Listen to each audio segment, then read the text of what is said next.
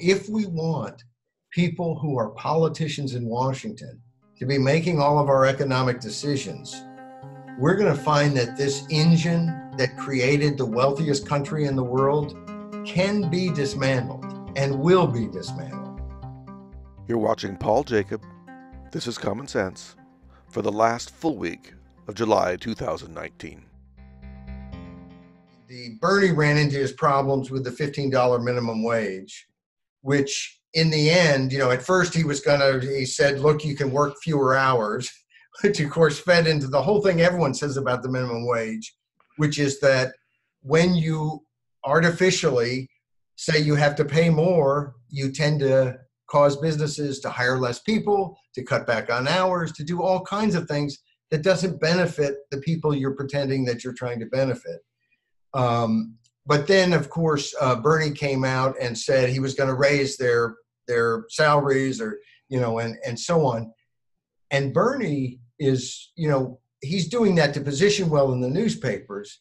But I've got to say that I want to work on a presidential campaign where people are committed to working their butts off to accomplish the mission. One of the nice things about working in politics is that you're constantly with people who work long hours and then get up early the next day to go to work again because they believe in something.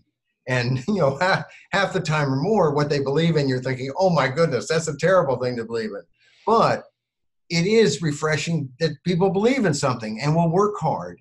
And you know, in campaigns, you're working around the clock. If you're, uh, my wife used to joke that, you know, if if I was paid hourly, I wouldn't be making minimum wage, and she was probably right but that's kind of a beautiful thing. And to think that he's running a campaign where you have to take a break from trying to get your message out so you can negotiate the hours and the time and the uh, is is silly.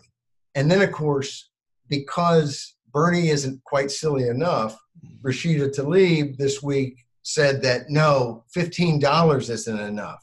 It should be a $20 federal minimum wage, meaning that not only do you have to pay pay $20 an hour in places where labor is very expensive, like Seattle or New York or Chicago, but that in rural Kentucky and in Arkansas, where I grew up, and other places, uh, you've got to pay $20 minimum an hour. And of course, we talked about the fact that who is this going to benefit? Well, it'll benefit the people who are working on robots and uh, and automating uh, fast food restaurants so that we can cut out all the employees. Um, it's insane.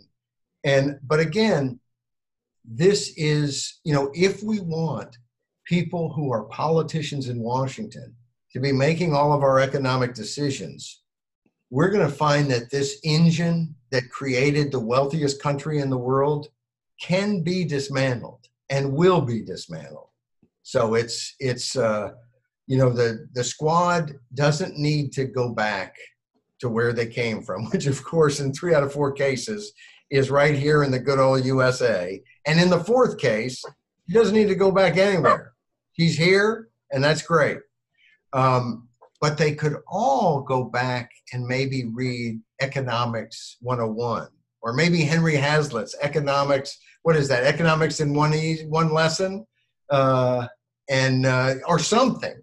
Or maybe just walk down to your local fast food place and ask the manager a couple things or or bump into a restaurant tour and ask him a few questions. And uh, they might know a whole lot more than they know today. There was an initiative in washington uh, a year ago two years ago three um, time flies when you're having fun, and and uh, but it it basically changed it to where you everybody got the same minimum wage, and in restaurants there wasn't a lower minimum wage, and I think the idea was that they would stop tips, um, and it was very controversial. It passed in Washington, and then the council pretty much gutted it but it gutted it with a lot of public support for gutting it because I think after it passed, when it passed, I think people were focused on this is helping the little guy. And then after it passed, I think a lot of people decided it wasn't helping the little guy at all. Um, now, my view on that, uh, because I, I, was asked by the Post reporter a couple times because term limits they had gutted. Uh, and it wasn't because it hurt the little guy, it was because it hurt the council. Uh, and the council has the ability, unfortunately, in Washington, any initiative that passes, the council can just rip up and change any way they want. But the truth is, in those kinds of cases, it seems to me that even if the council believes it has to intervene and change it because it'll be disastrous or because what's happening is unconstitutional and will destroy the human rights of all kinds of people, they ought to then also put it back on the ballot and make their case. Um, you know, and and and let the people have their say. Now, if it's if it is destroying people's human rights, go to court and the courts aren't aren't going to allow people's rights to be destroyed. I don't think, but but it's the kind of thing where it's it's easy. I think in this case they were the council was probably right that the public had kind of turned against the initiative, but let's not guess. Let's put it back. I mean, I, am not a believer in democracy who thinks that when two wolves and a, and a and a sheep vote and they decide to eat the sheep for dinner that that's okay but I do think that democracy is almost always a force for controlling power and that there is a process and it's good to go through that process. And, and we find again and again that democracy, by the people who are talking about how wonderful it is, and then the second it doesn't work for them, they're ready to gut it without any sort of process to protect what they say they hold dear. If you really believe